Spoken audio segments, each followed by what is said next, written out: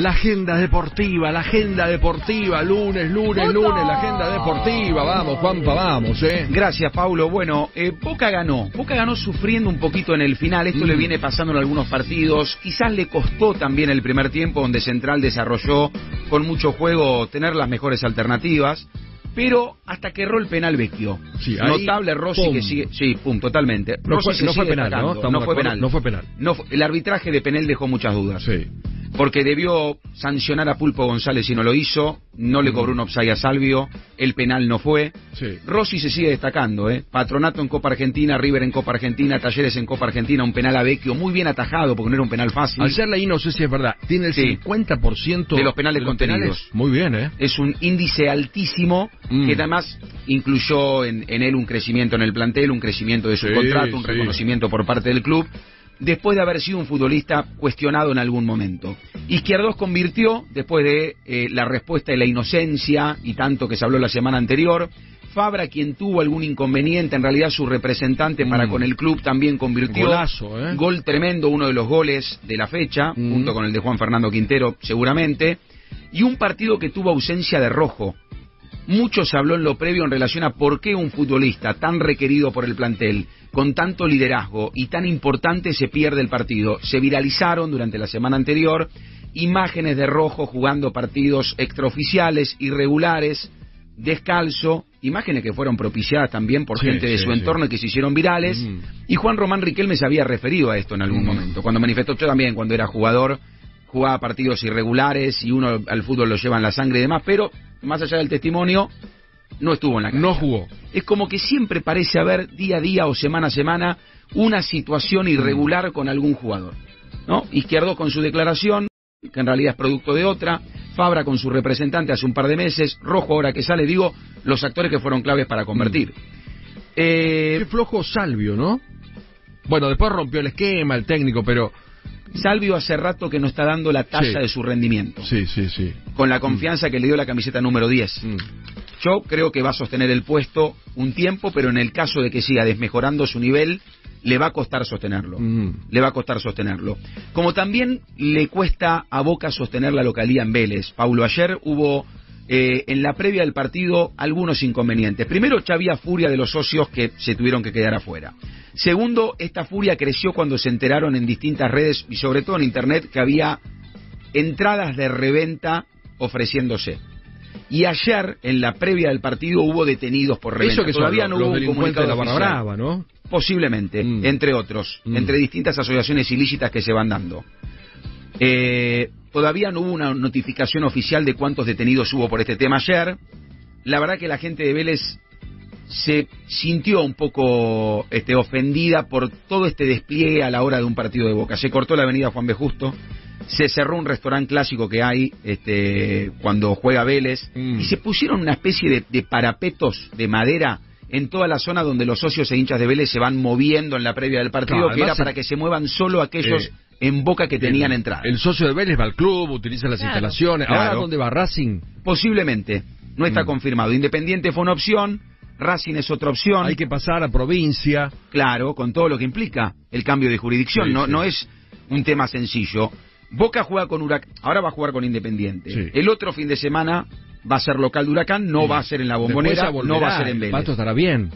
Entiendo que sí, Mm. porque la verdad que la primera versión eran 40 días de necesidad y dos partidos donde perdía la Ah, localidad. Claro, claro. Pero también la primera versión era que en la primera fecha iba a estar todo listo en la bombonera y no lo estuvo. Mm. Porque son trabajos que realmente llevan mucho, Mucho tiempo. Mucho Obvio, tiempo. Obvio. También coincide que en la fecha, la programación estaba así, esto se puede cambiar, pero el 6 de marzo, que es el próximo partido de Boca en condición de local, Boca es local de Huracán 19-15 y 21-30 Vélez es local de estudiantes. Ah, Algo claro. había que cambiar ahí. Mover ahí. Lo que pasa es que también todos los equipos luchan por sus intereses en cuanto a tiempo de descanso y demás. Sí, sí, sí. Y eso no es fácil. Eh, ayer ganó River y ganó bien. Ganó bien River. Otro buen partido de Enzo Fernández. Otra vez estuvo perspicaz Julián Álvarez. Otra vez Juan Fernando Quintero entró para convertir el gol que convierte.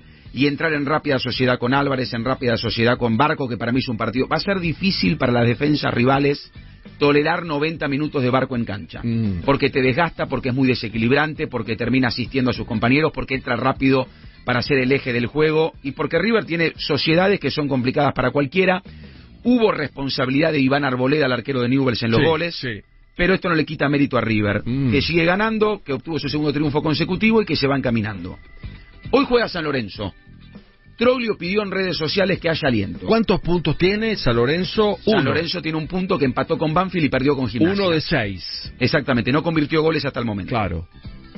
Muchos cambios. Pidió aliento. Pidió, claro, porque viste que onda, los últimos yo. partidos de San Lorenzo sí, sí. tuvieron sus chivos expiatorios. Sí, sí. Dirigencia, Franco Di Santo, los. Romero en algún momento, Claro, con la claro. gente más dividida ahí. Mm.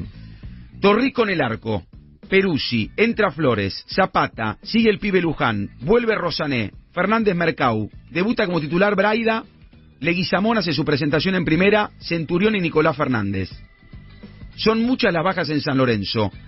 Rojas con fiebre, Gatoni con fiebre, Jason Gordillo expulsado, Ortigosa con fascitis plantar Mm. y Alexis Abela con algún problema personal que no trascendió. Mm. O sea, entre toda la situación, Troglio tiene que cambiar mucho. Exacto.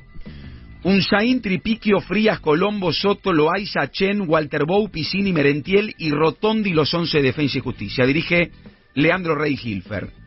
Te voy a contar más tarde Sí. más problemas en Independiente, con renovaciones y con salidas de jugadores. Te voy a dar distintos nombres.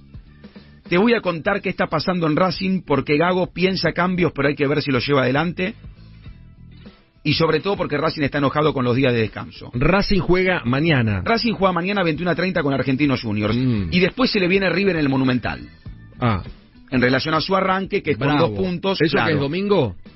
Eso va a ser sábado a la noche. Ah, sábado. Lo- los partidos más importantes los tenemos el sábado. Perdón, perdón, porque me fui a talleres. Ah. El partido con River es domingo. Domingo. Independiente Boca sábado. Así es. Mira, esos son Boca partidos de la cuarta. Sí. Independiente Boca va el próximo sábado 26 a las 21.30 Sí. y River Racing va el próximo domingo 27 a las 19.15. Mm, perfecto. Perfecto. ¿Qué más? Bueno, hoy cuatro partidos. Barraca Central con Tigre a las 17 horas. El Huracán. Exactamente. Godoy Cruz ante Aldo Civi, partido importante por la permanencia. Banfield con Gimnasia y como te contaba el partido de San Lorenzo con Defensa y Justicia. Hay muchos más temas. Los salientes otro triunfo de Platense que sigue ganando, que es la revelación el equipo de Espontón del arranque del torneo, con Vergesio que sigue convirtiendo y con el gol de Contreras.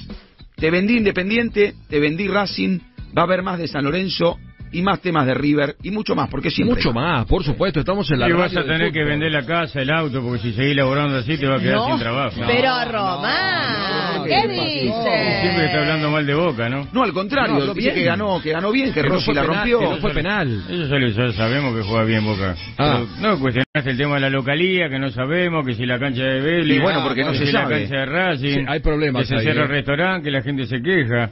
No, la gen- no, bueno, se quejó O van a gente jugar al fútbol, o van a ver restaurar a la fútbol gente. o van a comer en el restaurante. No, sí. no, el restaurante porque se cerró el histórico restaurante que tiene Vélez ahí, no digo que sea un problema. Hice una descripción pequeña de lo que pasó. Exacto, Pero pequeña. hubo, hubo ahí un tema con la reventa. Pequeña, un problemita con la reventa, ¿eh?